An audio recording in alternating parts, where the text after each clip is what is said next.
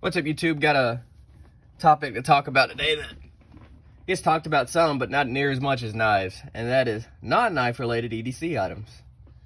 Well, obviously, if you're here, you're here for the knives, but um, something that's also important is the other stuff that we carry, not just knives. Sorry about that. So that could include a flashlight, something on your keys, multi-tool, what you write with, or different kind of wallet. So, uh, yep, stay, stick around. I'm going to go over this little overview. And uh, first, we're going to start with flashlights. Pretty self-explanatory why you need a flashlight to see. But um, personally, I prefer these pocket-sized flashlights. Uh, single A or double A size light. I just like the way it fits. It's almost like a tube of chapstick, maybe just a little bit longer. Um, I know there's a lot of strong opinions about Olight. I have some as well, but I love the i3. It is one of my favorite lights. I just love it, especially since I bought it for $10 two and a half years ago. It has held up really well. It's burned through many batteries, but I've also used it a lot. And it's starting to get the wear to show it. But if you don't carry one, you should consider carrying one because you don't realize how bad your phone flashlight is until you actually get a even as a halfway decent 10 15 dollar AAA light you can find on Amazon. There's so many options for good lights now, and it's light knives. The budget realm is growing every day, and it's really opening up. And you got so many options. There's no excuse not to, especially when they're this small. I found myself using a flashlight more than I ever thought I would.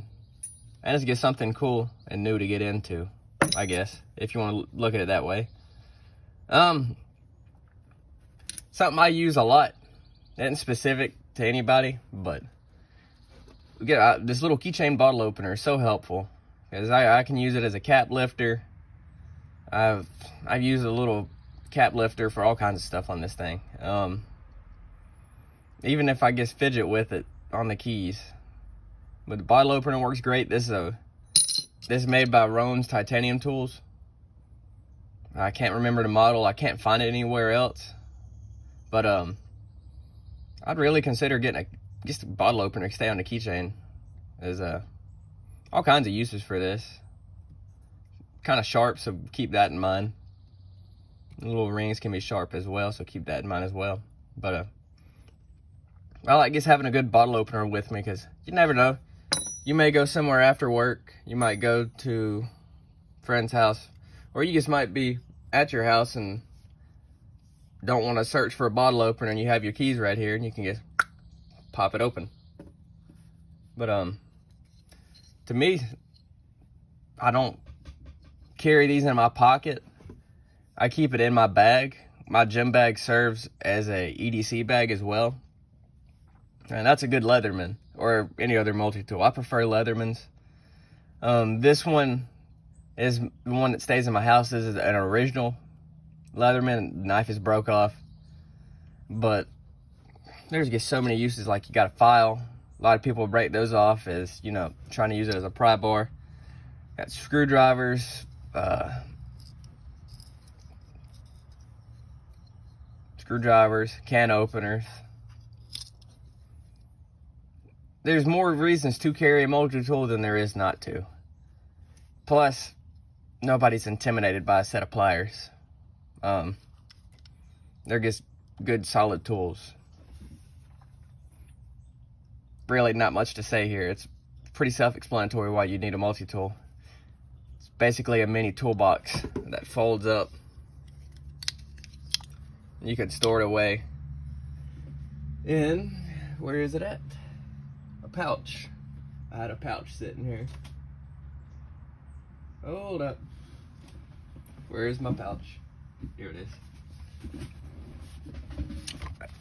I got this is a free pouch I got from Olight. Got it on one of their sales.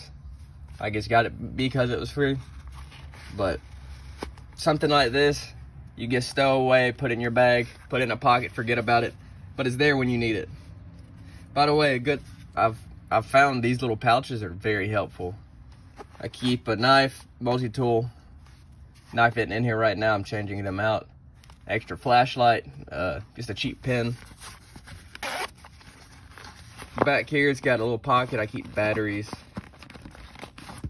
like extra double A's, triple A's. Uh, sometimes I keep a little uh, screwdriver set in there. But this is really nice, gets to tuck away, keep extra stuff in there. Not saying you gotta buy Olight, there's plenty of other brands that, there's plenty of small makers that make uh, leather ones that are way nicer than this. But for me, this worked really good. And uh, I'm glad that I have one to keep in my bag because I wouldn't keep this in a pocket because obviously it's kind of chunky and large. But um, yeah. Anyways, next, uh, a pin. Actually, this is still a cheap pin at, at $9. So it could kind of be expensive. It's the most expensive pin I bought. Because normally I just buy a big pack of Pilot or Sharpie pins. Which, by the way, if you want cheap pins, get these Sharpie S-Gels. I love them. Actually, one of my favorite pins. I actually like it better than the Pilots. Um, but I use a pen daily, filling out my timesheets and daily reports from work. And I just like having a nice one, especially something, being that I'm a construction worker, having something heavy duty and that's not going to break or crack on me is real nice to have. Plus, the metal just looks and feels nice. And it's just a well-made pen, works as it should. Here we go, okay. Something I can scribble on. You can see just normal pen. It's not a gel pen, has a standard insert, but uh, it's worth checking out. Definitely worth checking out getting a nicer pen than just your standard plastic pens. Um, something, everybody carries a wallet, at least most men do. And they can kind of be bulky and large and cumbersome. I carry a trifold during the week but usually when I'm at home, I have gym shorts on and I don't like carrying those wallets if I go out.